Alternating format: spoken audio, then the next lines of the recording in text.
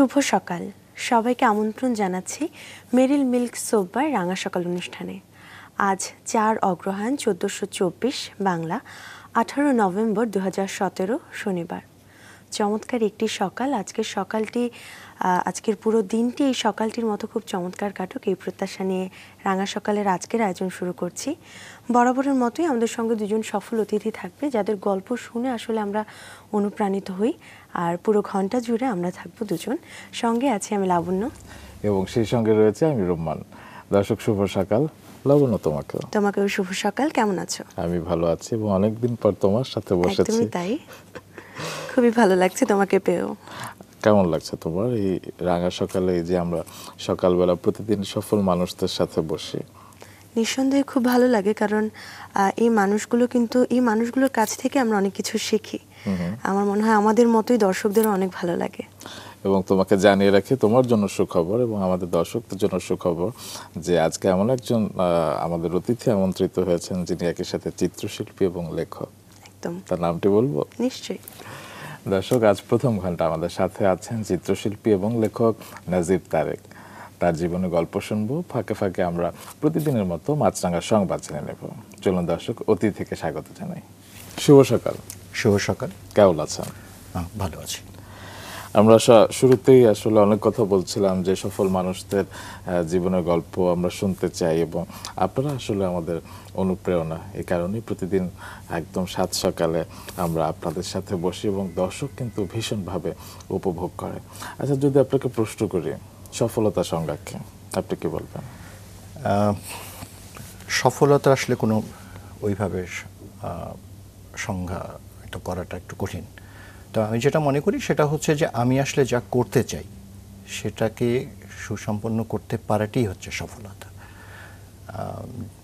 এর বাইরে আসলে সফলতাকে আরও বিস্তৃত ব্যাখ্যা করতে যাওয়াটাই হবে মনে হয় আচ্ছা। তা আপনি যা করতে চেয়েছেন তা কি পেরেছেন? তা পেরেছি বললে থেমে যাওয়া হবে আসলে। করে যাচ্ছি। বাহ আসলে সেটি হয়তো জীবনের মূল মন্ত্র যে success is not destination it's a journey আচ্ছা আপনার জার্নির একদম শুরুর গল্প থেকে আজকের পর্বটি শুরু করতে চাই একদম আপনার আপনার জন্ম বোধহয় দিনাজপুরে। দিনাজপুরে। আচ্ছা বেড়ে ওঠা কি সেখানে? বেড়ে ওঠাটি আসলে দিনাজপুর ঠাকুরগাঁ রাজশাহী মিলে আর কি। আচ্ছা। দিনাজপুরে কতদিন থাকা হয়েছে? দিনাজপুরে আমাদের হোম ডিস্ট্রিক্ট যেটা বলে আর কি। আচ্ছা। দিনাজপুরে বছর প্রথম জীবনের প্রথম চার পাঁচ বছর। এরপর ঠাকুরগাঁয়ে চার পাঁচ বছর। তারপর রাজশাহীতে কোন জায়গার কথা সব থেকে বেশি মনে পড়ে যে না ওখানে আরও কিছুদিন থাকতে পারলে আরও অনেক ভালো লাগতো? আমার আসলে এভাবে কোনোটা মানে তিনটি আমার কাছে খুবই গুরুত্বপূর্ণ। হ্যাঁ আলাদা করে যে ওখানে একটু বেশি থাকতে পারলে ভালো লাগতো এরকম মনে আচ্ছা আপনি তো একজন চিত্রশিল্পী তো চিত্রশিল্পীরা তো রং নিয়ে খেলা করে। তো এই যে তিন জায়গার কথা ভাবলে কোন কোন রং কিংবা কোন কোন বিশেষ বিশেষ স্মৃতি আপনার মনে পড়ে? এই কোন কোন রং এটি কখনো ভাবি নাই আর কি ব্যাপারটা খুব ইন্টারেস্টিং যেটা ভাবি নাই সেটার উত্তর না হয় নাই দিলাম। স্মৃতি তো আসলে শৈশব স্মৃতি মানুষের সব মানুষের মানে- ভুলবার নয় তবে বিশেষ কোন বিষয়টি আপনার সেসব জায়গার আকর্ষণীয় মনে হয় এখনও মনে হয় যে আহ সেদিন যদি ফিরে যেতে পারতাম? আমার বন্ধুরা। খুবই চমৎকার। আমরা একটা কাজ করি। স্যার আমরা শৈশবের গল্প নিশ্চয়ই করব তবে আপনার সম্পর্কে আপনার কাজ সম্পর্কে দর্শকদের একটু জানিয়ে আসি। দর্শক শুরুতেই বলেছিলাম, আমাদের সঙ্গে আছেন নাজিব তারেক। তিনি একজন চিত্রশিল্পী। চিত্রশিল্পের পাশাপাশি বইয়ের প্রচ্ছদ, অলঙ্করণ, সাহিত্য, সাময়িকী, সচিত্রকরণ, পোশাক নকশাকরণ, প্রভৃতি শিল্প মাধ্যমে তিনি পরিচিতি লাভ করেন। একক ও যৌথ মিলিয়ে তার চিত্র প্রদর্শনীর সংখ্যা বিশটি। জলরং নামে দক্ষিণ এশিয়ার সর্বপ্রথম একটি অনলাইন গ্যালারি প্রতিষ্ঠার সাথে যুক্ত রয়েছেন তিনি। দু হাজার পনেরো সালে চিত্র প্রদর্শনী এবং সামগ্রিক শিল্পচর্চার জন্য স্টুডিও সিক্স বাই সিক্স প্রতিষ্ঠা করেন আমাদের আজকের অতিথি নাজিব তারেক। তিনি বাংলাদেশ চারুশিল্পী সংসদের তথ্য প্রযুক্তি সম্পাদক হিসেবে নিযুক্ত রয়েছেন। লেখক হিসেবেও তিনি পরিচিত। লিখেছেন পদ্য, প্রবন্ধ, আলোচনা, প্রভৃতি। উনিশশো ছিয়ানব্বই সালে বাংলা একাডেমির তরুণ লেখক প্রকল্পের অধীনে প্রকাশ করেছেন কবিতার চিত্রায়ন প্রসঙ্গে শিরোনামে চিত্রকলা ও সাহিত্য বিষয়ক বই। এছাড়াও প্রকাশিত হয়েছে চার খণ্ডে শিশুদের ছবি আঁকার বই। এই ছিল আমাদের আজকের অতিথির অনেক কর্ম, অনেক কাজ। আমরা তার মুখ থেকে এগুলো শুনব আবারও। তার কাছে আবারও ফিরে যাচ্ছি আমরা। আমরা শৈশবের গল্পেই আসলে একটু থাকব। যেটা বলছিলেন আপনি অনেক জায়গার কথাই আপনি অনেক বলছিলেন অনেক জায়গায় থেকেছেন। বিশেষ কোনো হয়তো স্মৃতি নেই যেটা আপনি নিজে বলছেন। না আসলে এতই ভরপুর স্মৃতি যে কোনোটাই আসলে মনে পড়ছে না না। সবই মনে পড়ছে কিন্তু সেটিকে আসলে বলতে গেলে যে বিশাল সময়ের প্রয়োজন সেটি হচ্ছে একটা বিষয়। এর মধ্যে হয়তো দু একটা চট করে মনে পড়ার বিষয়গুলি হয়তো তাহলে আপনাদের পরিবার সম্পর্কে শুনি যে আপনাদের পারিবারিক সংস্কৃতি চর্চাটা কেমন ছিল? পারিবারিক পরিবারের ভিতরে সংস্কৃতি চর্চাটি বাংলাদেশের গড় মুসলিম পরিবারের তুলনায় একটু বেশি ছিল। আমার বই পড়ার ক্ষেত্রে আমাদের আমার পরিবারে প্রবল উৎসাহ ছিল এবং এটি চর্চাটি চর্চাটি খুবই গভীর গভীরভাবেই কে ছিল। পরিবার তো আমার বাবা মা এবং আমরা সাত ভাই বোন। হ্যাঁ, আচ্ছা। এই নিয়েই আমাদের পরিবার। আপনার অবস্থান আমি হচ্ছি ভাই বোনদের মধ্যে পঞ্চম। বই পড়ার ব্যাপারটি আমাদের বাসায় এরকম ছিল যে আমার মা যেমন অবসর সময় পড়তেন সঙ্গে আমরা আমার বড় ভাই বোনরা তো সবাই বই নিয়ে ব্যস্ত থাকতোই। আমার আমিও বই নিয়ে ব্যস্ত থাকতাম এবং বলা যেতে পারে যে পারিবারিক পাঠাগার একটি আমাদের ছিল। আচ্ছা। সেটি আমরা করতাম। আমার বড় বোন গানও গাইতেন ছবিও আঁকতেন, অভিনয়ও করতেন। মানে আমি ভাই বোনদের মধ্যে পঞ্চম হলেও আমার তিন বোনই হচ্ছে আমার বড়। বোনই সবচেয়ে বড়। বড় ভাই ও লেখালেখি, আবৃত্তি ইত্যাদির সঙ্গে ছোটবেলা থেকেই ইয়ে ছিলেন। তবে বোনেরাই বেশি প্রভাব বিস্তার করেছে আমার উপরে। কারণ বড় ভাই ক্লাস সেভেনেই সে গাইড কলেজে চলে যায়, যার কারণে তাকে প্রত্যক্ষভাবে পাওয়ার ঘটনাটি হয়নি। বাবা মা কি করতেন? বাবা সরকারি চাকরি ছিল পান্ডন বোর্ডে চাকরি করতেন মা গৃহবধূ। আচ্ছা এই যে বই পড়ার চর্চাটা আসলে কীভাবে এসেছিল? মানে পরিবারে কীভাবে ঢুকেছিল? সেটা কি বাবা চাইতেন নাকি? বাবা তো অবশ্যই চাইতেন। তাহলে আসলে বাবা বা মা না চাইলে আসলে একটি পরিবারে সন্তানেরা বই পড়বার অভ্যাসটি গড়ে ওঠাটা একটু কঠিনই। বাবা চাইতেন।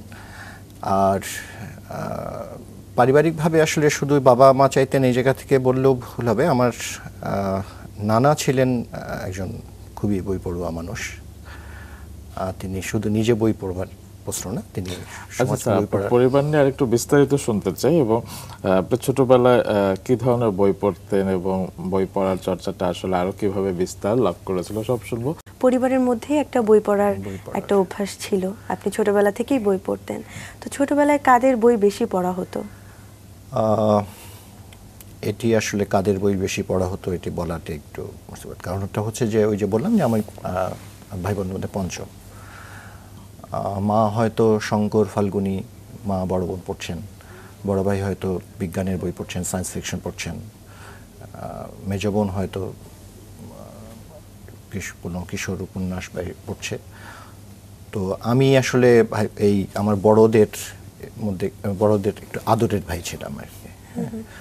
তো আমার একই সাথে নিজে পড়ছি যেমন, পড়তে শেখার পরে যেমন নিজে পড়ছি, একই সঙ্গে দেখা গেল যে, তাদের কাছ থেকে তারা যা পড়ছে সেটাও শুনছি। মানে ছোট বলে এটা তুই পড়তে পারবি না, এটা শুনতে পারবি না, এই ব্যাপারগুলি আমার ক্ষেত্রে খুব কম হয়েছিল। যে এটা হচ্ছে আমার জন্য একটি খুবই সৌভাগ্যের ব্যাপার ছিল। যে যা হয়তো এটা পড়বা না ওটা পড়বা না এরকম একটা। এই ব্যাপারটাও আমাদের পরিবারে একটু কমই ছিল। যে ও ছোট আচ্ছা এই বইটা পড়বা না এটা ধরবা না এরকম না। মানে তোমার যেটা পড়তে ভালো লাগছে পড়ো। হয়তো কিছু কিছু বইয়ের ক্ষেত্রে যেটা স্বাভাবিকভাবেই থাকে যে একটু ছোট বড়োর ব্যাপার থাকে। হয়তো আচ্ছা তুই এটা পড়ছিস এটা পরে পড়। এটুকুই। এর বাইরে আর কিছু তার মানে একদম স্বাধীনভাবে ডানা মেলবার অধিকার ছিল আপনার এবং সেটি ছোটবেলা থেকে। তো সেই অবস্থায় আপনি কি স্বপ্ন দেখতেন যে বড় হয়ে কীভাবে আপনি আপনার আলো ছড়াবেন? মানে আজকের চিত্রশিল্পী বা লেখক হিসেবে যে পরিচিতি সেই জায়গা থেকে হিসেব করলে আসলে স্বপ্নটি একেবারেই ভিন্ন ছিল। আমি আমার ছোটবেলা থেকে স্বপ্ন ছিল বইমানি খাওয়ার আচ্ছা। আচ্ছা। তো তার মানে আমি ঠিক ধরেছি, ডানা মেলবার একেবারেই ডানা মেলার ব্যাপার ছিল আর কি। তো ডানা মেলা ব্যাপারটি ঘটলো না। সেটা প্রসঙ্গ যাই হোক। তবে একদিক থেকে ঠিকই আছে সুভাষ বোসের ক্ষেত্রে যে আমি গাড়ির গাড়োয়ান হব মানে ব্যাপারটা ওইরকমই আর কি। তিনি ঠিকই গাড়ি চালাচ্ছেন সেটি জাতিকে চালাচ্ছেন ব্যাপারটা ওইরকমই আর কি। স্যার আপনি চারুকলায় পড়েছেন তো চারুকলায় পড়বার ইচ্ছেটা কবে থেকে আসলে জন্ম নিয়েছিল? চারুকলায় পড়বার ঘটনাটি আসলে একটি দুর্ঘটনাক্রমে আসলে। মানে আমি স্কুলে আমি ছবি আহ, অন্যরা যেভাবে ছবি প্রতিযোগিতা ইত্যাদি ইত্যাদির ভিতর দিয়ে ছবি আঁকাটায় বেড়ে ওঠা আমার আসলে ব্যাপারটি তা নয়। আচ্ছা। আমার ওই যে বললাম যে বড় ভাই বোনেরা আসলে যা করতেন আমি তাদের খুবই আদরের ফলে আমি তাদের সকলেরই অ্যাসিস্ট্যান্ট আর কি। বড় বোন আঁকছেন তো আমি হয়তো তার রংটা আগিয়ে দিচ্ছি কাগজটি আগিয়ে দিচ্ছি। সঙ্গে হয়তো বড় বোন এটা একটু এভাবে করতো হ্যাঁ মানে একই সাথে তিনি যেমন আমাকে অ্যাসিস্ট্যান্ট হিসেবে নিচ্ছেন এটা আসলে আমাদের সাংস্কৃতিক জায়গা আর কি ওই যে পরম যে আপনি পুরনো ঢাকায় গেলে দেখবেন যে সাগরেত অনেকটা ওই- ওইরকম ব্যাপার আর কি। তো, এর মধ্য দিয়েই আসলে আঁকা আঁকাআঁকি বা আবৃত্তি করা বা বক্তৃতা ইত্যাদির সঙ্গে যুক্ত হয়ে যাওয়া বোন, বোনদের সঙ্গে করতে করতেই। কিন্তু মানে ছবি আঁকছি, ছবি আঁকবো এই ব্যাপারটি ছিল না। বরঞ্চ যেটা হচ্ছে ছবি কিছু আঁকতে পারার কারণে স্কুলে কিছু কাজ করতে হতো আসলে। হ্যাঁ।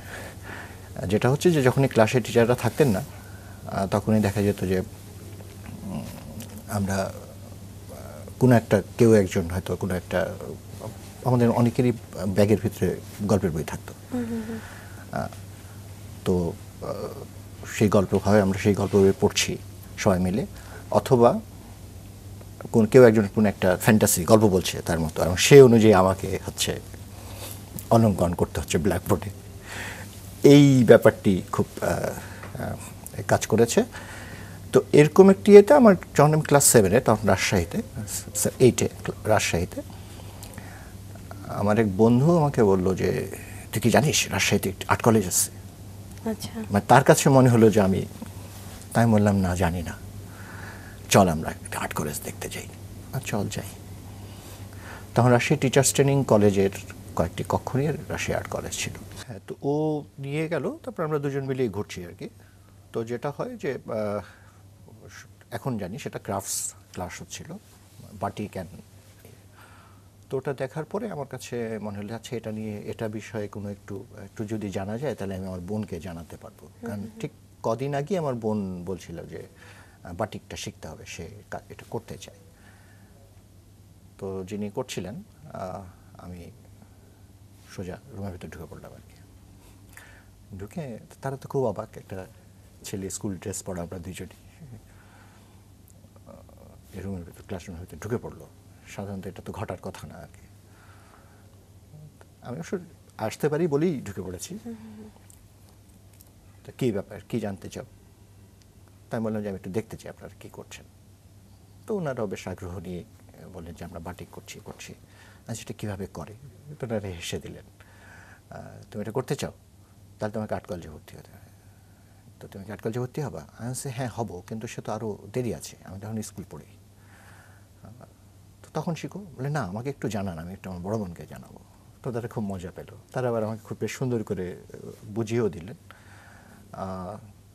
খুব মজার কাহিনী হচ্ছে আমি যখন চারুকলায় ঢাকা চারুকলায় ভর্তি হলাম এবং হলে উঠলাম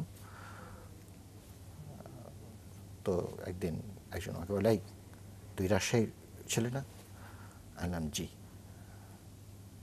তুই কখনো রাজশাহী আর্ট কলেজে গেছিলি তা আমি ওনার দিকে তাকে বললাম আপনি মুক্তা ভাই আরে তুই চিনছিস আমাকে? উনি একদম জড়ায় ধরলেন মানে উনি ছিলেন আর কি সেই ইয়েতে। তো তো তো ওই যে তখন বললাম যে আমি আর্ট কলেজে ভর্তি হব। বাসায় ফিরতে ফিরতে মনে হচ্ছে না আমি সেটা লোককে একটা মিথ্যা কথা বললাম ব্যাপারটা ঠিক হলো না আর কি।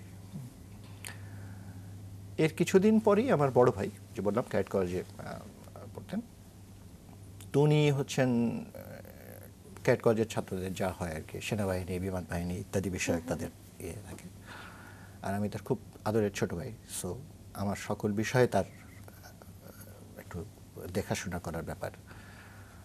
তো সে কোনো একভাবে এর মধ্যে হচ্ছে আমার ডাক্তারের কাছে যেতাম আমার পরিবারের সবাই চশমা পড়েন আমি একমাত্র চশমা পড়তাম না এখন চশমা পড়ছি আর কি চল্লিশের পরে চশমা পড়তে হবে এই জন্যে।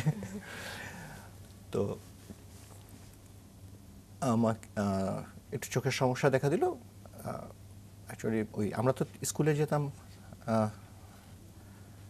আসলে এখন যেটা হচ্ছে যে বাবা মারা স্কুলে পৌঁছে দেয় বাচ্চাদেরকে। আমাদের সময় তো আসলে স্কুলে পৌঁছে দেওয়ার ক্ষেত্রে বাবা মারা খুব অল্প বাবা মাই এই কাজটি করতেন। আমরা নিজেরা নিজেরা স্কুলে যেতাম এবং অধিকাংশ সময়ই আমরা দেখা যেত হেঁটে হেঁটে স্কুলে যেতাম বন্ধু বান্ধবরা দল বেঁধে। তো সেটা গ্রীষ্মের সময় হোক আর শীতের সময় হোক আর বর্ষার সময় হোক। এই দল বেঁধে যাওয়াটাই ছিল আমাদের মজ- মজার বিষয়। তো সূর্যের এবং গ্রীষ্মের সময় সূর্যের কারণ মানে আমার চোখে একটু সমস্যা হয়। যেটা এখন জানি যে সেটা আসলে একটা সানগ্লাস বা ওই জাতীয় কিছু ইউজ করলেই চলে তো ডাক্তার আমাকে একটি চশমা দিয়ে দিলেন আর কি। এটা দেখে আমার বড় ভাই খুব টেনশনে পড়ে গেলেন। হায় হায়, তুই তো এখন পাইলট হতে পারবি না। তো তার এই উচ্চারণটি আমাকে একটু ঝামেলায় ফেলে দিল আর কি যে আমি পাইলট যদি না হতে পারি তাহলে আমি কী করব? এ সময় আহ, রাজনৈতিক পরিস্থিতিও ছিল উত্তপ্ত সারা দেশের। আমরা জানি যে দীর্ঘ সামরিক শাসনের ছিয়াশি পঁচাশি চুরাশি পঁচাশি একটা উত্তজ্ঞ সময় ওটি। সারা দেশ জুড়ে বিভিন্ন রকম আন্দোলন হচ্ছে রাজশাহী শহর শিক্ষা শহর নামেই পরিচিত। আমি তখন রাজশাহীতেই রাজশাহী কলেজিয়েট স্কুলের ছাত্র রাজশাহী কলেজিয়েট স্কুল এবং রাজশাহী কলেজ দুটো একদম পাশাপাশি জাস্ট একটি দেয়াল দিয়ে আলাদা করা। তো যে কোনো রাজনৈতিক পরিস্থিতি কলেজ বা বিশ্ববিদ্যালয়গুলি তো এগুলির কেন্দ্র। তো যে কোনো রাজনৈতিক ইয়েতেই আমরা মোটামুটি কলেজিয়েট স্কুলটার সঙ্গে এক ধরনের আমরা আমাদের পরিবর্তন কিন্তু আমরা যারা একটু ক্লাসের পাজি গ্রুপ তারা হরতালগুলিতে আমাদেরকে স্কুলে যেতেই হবে। গোটা স্কুলে কেউ আসবে না, আমরা এই পাজি গ্রুপ অবশ্যই যাব। তো এই পাজি গ্রুপ এরকম একটা হরতালে আমরা বসে বসে স্কুলের সিঁড়িতে বসে বসে আড্ডা মারছি। যথারীতি স্যার এর মধ্যে দুইবার এসে বকা দিয়ে গেছেন আমাদের কাই তোরা বাসা যা। হ্যাঁ স্যার, যাচ্ছি। করে আমরা আবার, তো আমাদেরকে আড্ডা মারতে দেখেই স্কুলের পাশেই হচ্ছে আমাদের টিচারের বাসা। তার এক তার ছেলে সে ছেলে একটি এসএসসি পরীক্ষার্থী এবং খুবই ভালো ছাত্র। মানে আমরা ধরি তো মানে ধরেই নেওয়া হচ্ছে যে উনি ফার্স্ট সেকেন্ড স্ট্যান্ড করার মধ্যে থাকবেন। তো আমাদের আড্ডা মারতে দেখে উনি বাসা থেকে বের হয়ে আমাদের কাছে এসছেন। কিছুক্ষণ কথাবার্তা বলে উনি আবার বাসায় ফিরছেন আর কি। উনি একদম লুঙ্গি পড়াই বাসায় বসে পড়ছিলেন তো। তো উনি জাস্ট স্কুলের গেট দিয়ে বেরিয়েছেন। ওই সময় রাজশাহী কলেজ থেকে একটি মিছিল ক্রস করছে ওখান দিয়ে এবং মিছিল থেকে পুলিশের গাড়িতে একটি পেট্রোল বোমা ছুড়ে মারা হয়েছে। পুলিশ লাভ দিয়ে নেমে ওনাকে জি। মেরিল মিল্ক সোববার রাঙা সকাল অনুষ্ঠানে দুই থেকে সাত বছরের শিশুদেরকে জন্মদিনের শুভেচ্ছা জানানো হয়। আগ্রহী অভিভাবকগণ জন্মদিনের সাত দিন আগে শিশুর ছবি নাম যোগাযোগের ঠিকানা জন্ম জন্মসনদের অনুলিপি ও ফোন নাম্বার পাঠিয়ে দিন এই ঠিকানায়।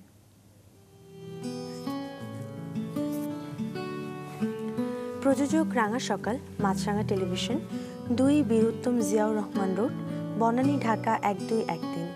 এছাড়া ইমেল করতে পারেন R A N G A S H O K A L Ranga Sakal at Maasranga dot TV এই ঠিকানায়। আমাদের সঙ্গে আছেন চিত্রশিল্পী নাজিব তারেক, তার কাছে আমরা আবারও ফিরে যাচ্ছি। স্যার, আমরা এবারে যদি একটু অনেকগুলো গল্প শুনলাম, আসলে ছোট ছোট অনেকগুলো গল্প শুনলাম, যেগুলো আসলে ভোলার মতো না আপনার কাছে অনেক সবসময় মনে থাকবে। একটু যদি সামনের দিকেই আগাই যে আপনি ঢাকা বিশ্ববিদ্যালয়ে চারুকলা বিভাগে পড়েছেন। মোটামুটি পরিবারের একটা পরিবেশ ছিল চারুকলার প্রতি।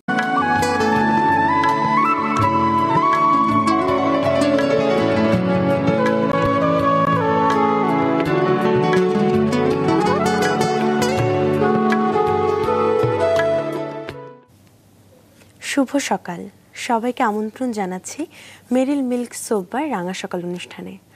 আজ চার অগ্রহায়ণ চোদ্দোশো চব্বিশ বাংলা।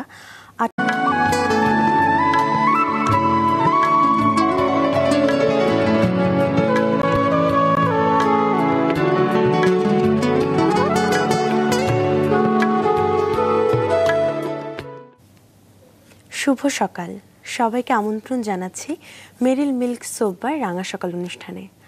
আজ চার অগ্রহায়ণ চোদ্দোশো চব্বিশ বাংলা, আঠারো নভেম্বর দু হাজার সতেরো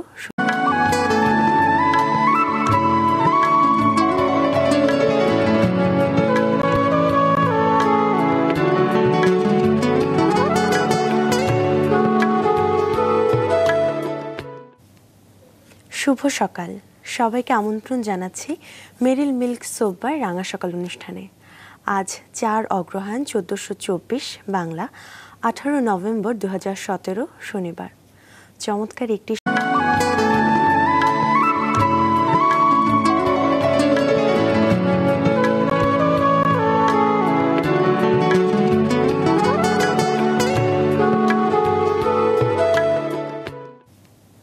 শুভ সকাল।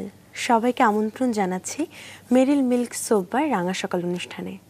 আজ চার অগ্রহায়ণ চোদ্দোশো চব্বিশ বাংলা, আঠারো নভেম্বর দু হাজার সতেরো শনিবার। চমৎকার একটি সকাল। আজকের সকালটি আজকের পুরো দিনটি এই সকালটির মতো খুব চমৎকার কাটুক। এই প্রত্যাশা নিয়ে রাঙা সকালের আজকের আয়োজন শুরু করছি।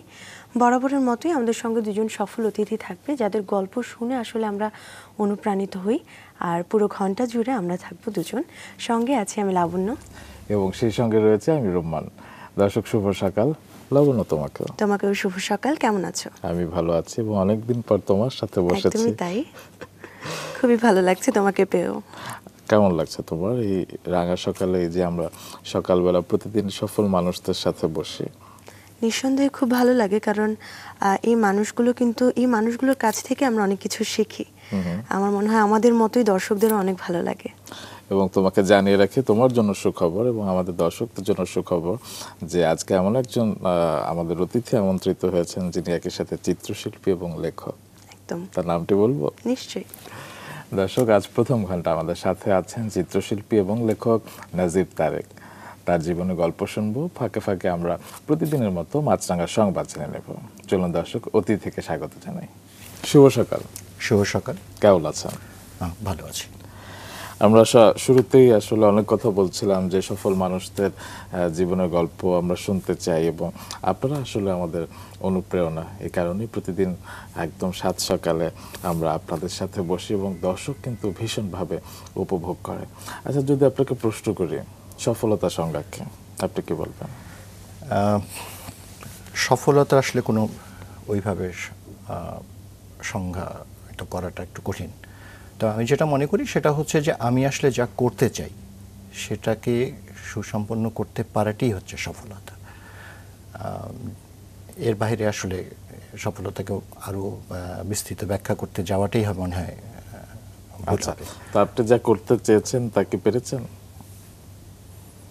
তা পেরেছি বললে থেমে যাওয়া হবে আসলে। করে যাচ্ছি।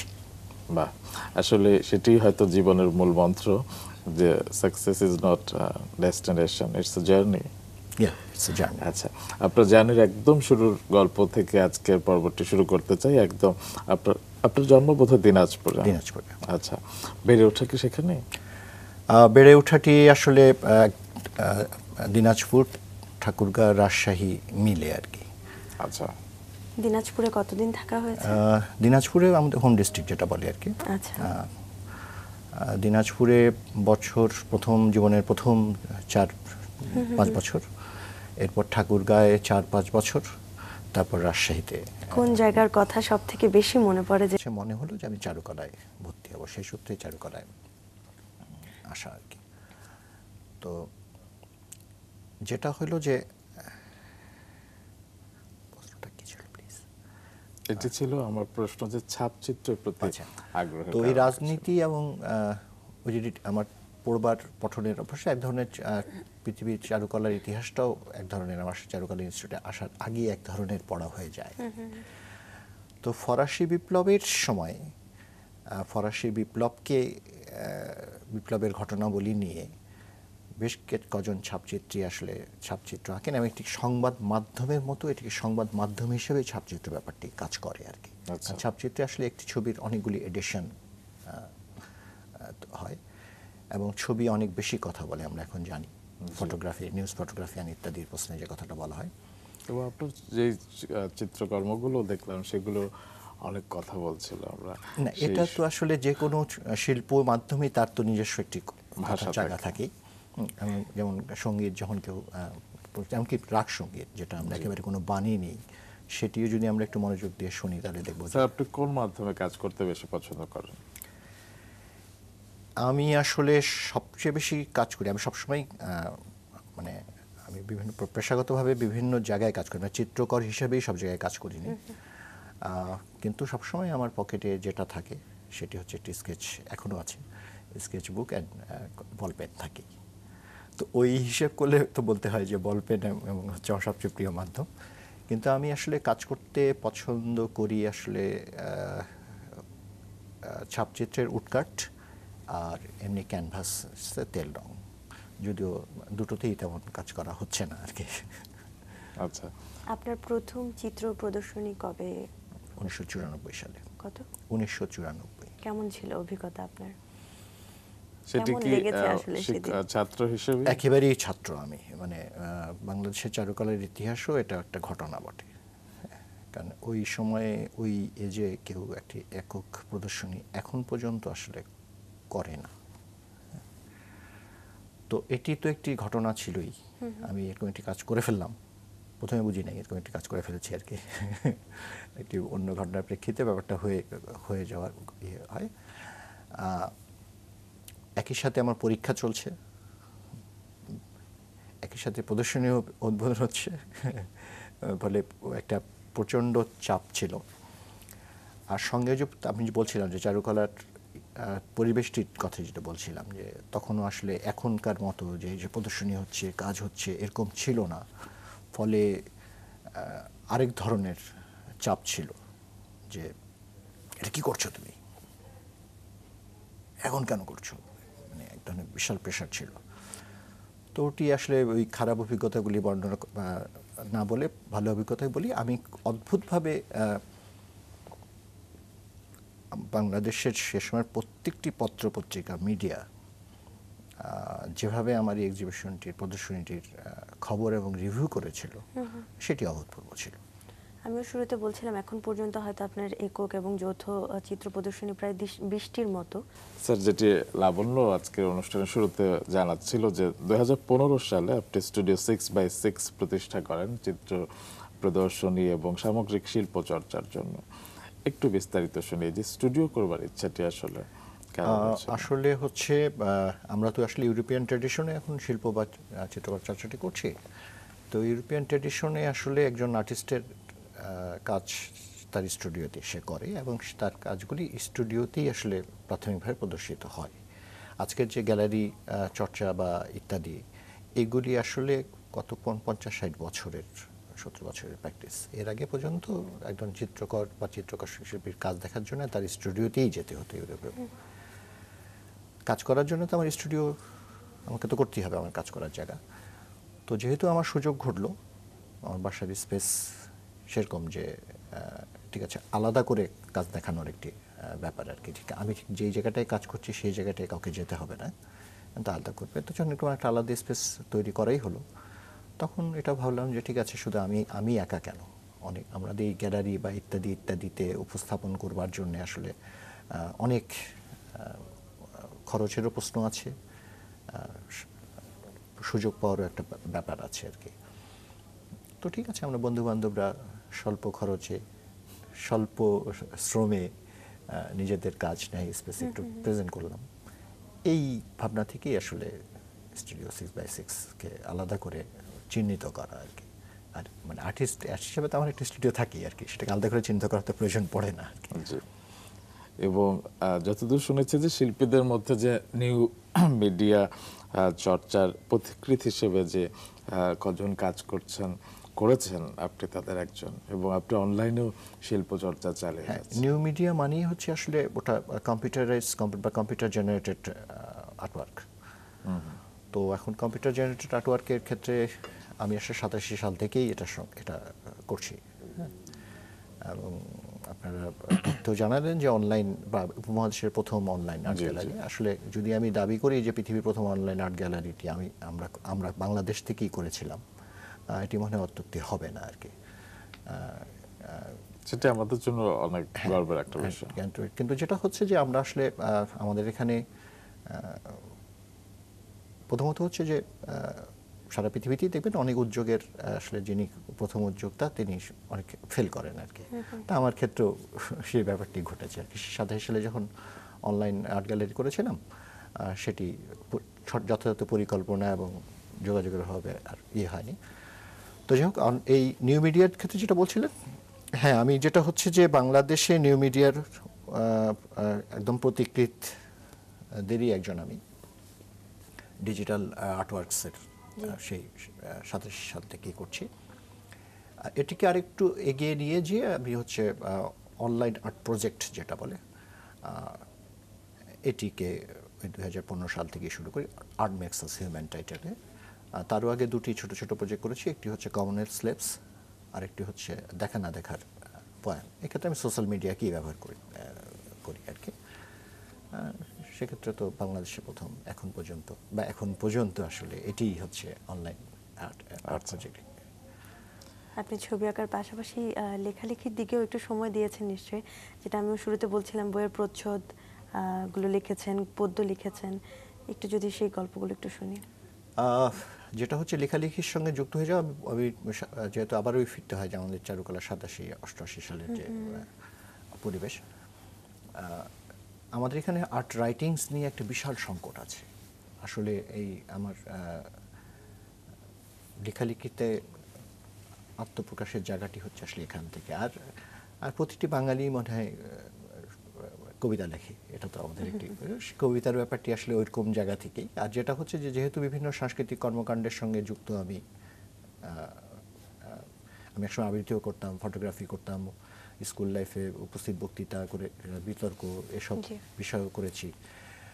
তো ফলে কবি সবাই মিলে যে বন্ধু বান্ধব মিলে আমি প্রথমে বলেছি যে বন্ধুদের স্মৃতিগুলি।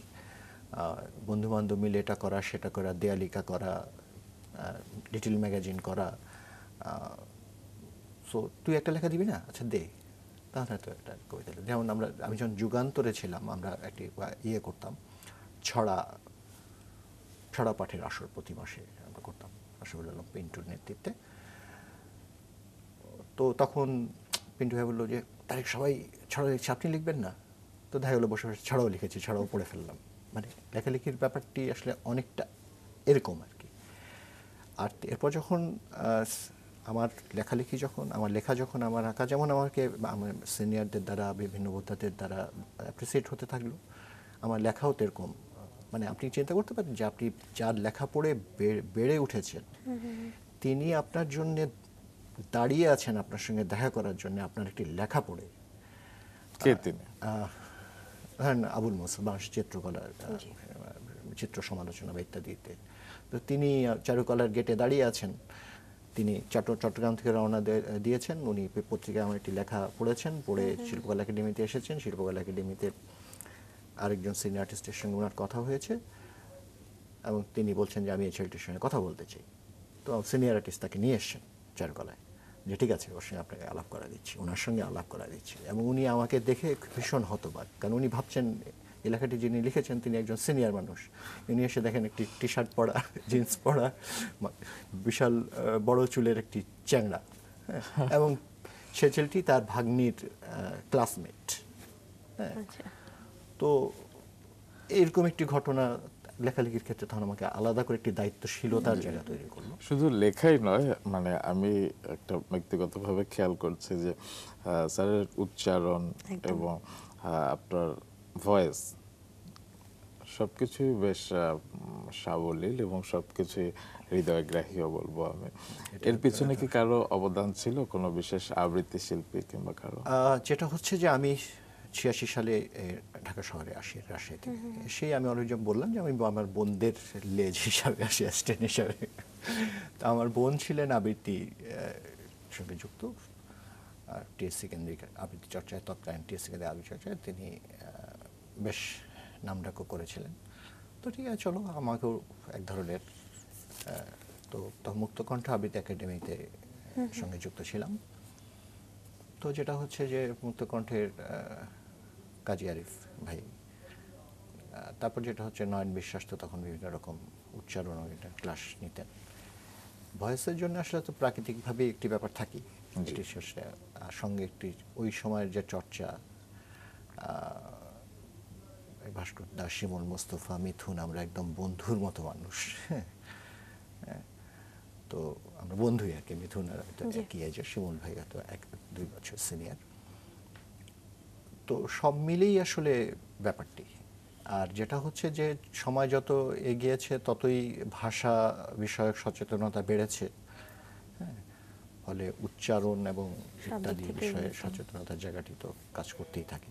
যে বিষয়টা আসলে জানতে ইচ্ছে করছে যে এমনিতে যখন ঢাকা বিশ্ববিদ্যালয়ে যখন পড়ছেন তখন হয়তো একটা সিলেবাসের মতো হয়তো অন্তর্ভুক্ত ছিলেন যে এইভাবে আমার এই অনুযায়ী আঁকতে হবে। কিন্তু যখন পাশ করলেন তখন নিজের মনের মতো একটা আঁকার সুযোগ হয়েছে। না আমার ক্ষেত্রে ঘটনাটি উল্টো। আচ্ছা। আমি যেটা হচ্ছে যে